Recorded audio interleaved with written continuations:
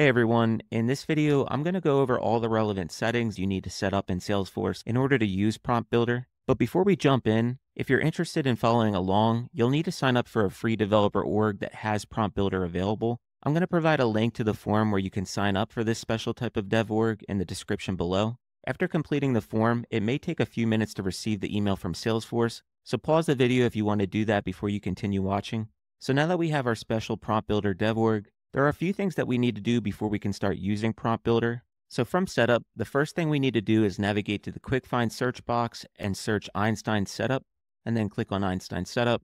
From here, we'll turn on this setting. I do want to call out that because we're in a special org that Salesforce is providing for learning, we are likely bypassing additional prerequisites that we would usually need to complete, such as anything Data Cloud related. Data Cloud is required for essential Einstein generative AI functionality, such as the Einstein Trust Layer, so now that we have Einstein enabled, the next thing we need to do is enable sales emails. So from the quick find box, we'll type in Einstein for sales and then click that.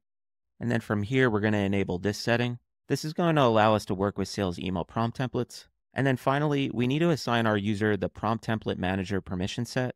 This special org already has that permission set assigned to my user, but to make sure that it's assigned to your user, we're going to navigate to permission sets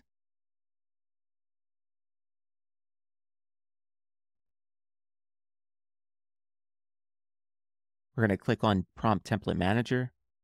And then from here, we'll click on Manage Assignments. And you should see your user here, but if not, you'll just add the assignment here. So that's all I have for this video. Thank you all for watching today, and I'll see you in the next video.